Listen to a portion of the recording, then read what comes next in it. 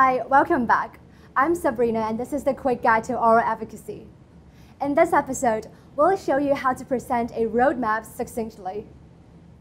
Specifically, you'll learn elements of a good roadmap, stance, and supporting arguments, verbs to signal your stance, believe and argue, phrases to signpost arguments, make an argument, advance a submission, temporal conjunctions to list the arguments in order, first, second. A roadmap serves to inform judges of your overall stance, how many supporting arguments you have, and what those arguments are. In other words, it previews the structure of your presentation.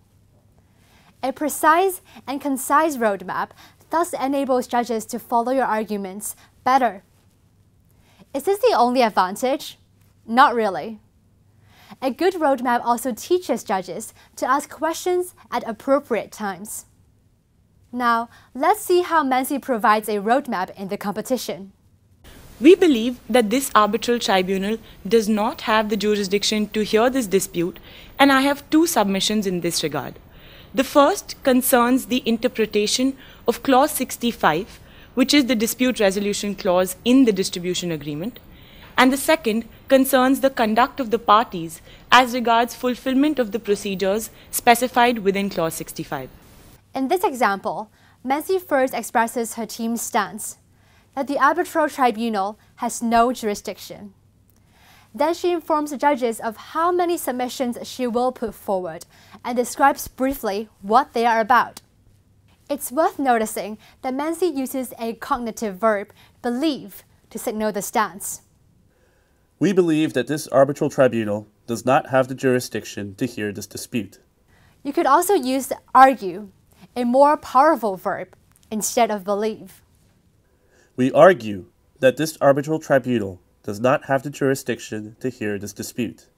Another thing you can observe from Menzie's roadmap is the use of expressions such as the first and the second to signal the order of arguments. Now take a look at another roadmap given by Heather, and you can also identify this linguistic strategy. The claimant makes two arguments in respect of terms of reference C and D. Our first argument is that Bill 275 does not vitiate the respondent's obligations, and our second argument is that there is no risk with enforcement.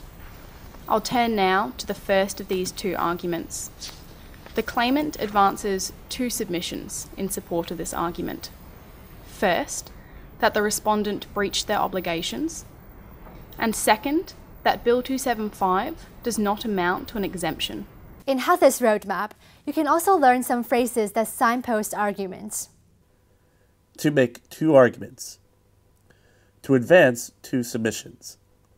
Overall, it's important to keep your roadmap succinct and to the point. If you can use one sentence to summarize each of your submissions, then you're on the right track. After watching this episode, we hope you've learned that a roadmap informs judges of your overall stance, how many supporting arguments you have, and what those arguments are. Various verbs can be used to show your stance and signpost arguments.